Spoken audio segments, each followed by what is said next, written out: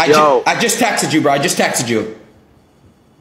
L, bro, L. Straight up, bro. Straight up. It, it wasn't even. So what happened was. Ta- oh, oh, citrus. Yeah, you're freaking out, bro. Of course, JJ's manager behind the scenes, of course, is freaking out that I'm on the stream. Tells me to get kicked off because they don't want me to say anything and discredit their six round bullshit exhibition.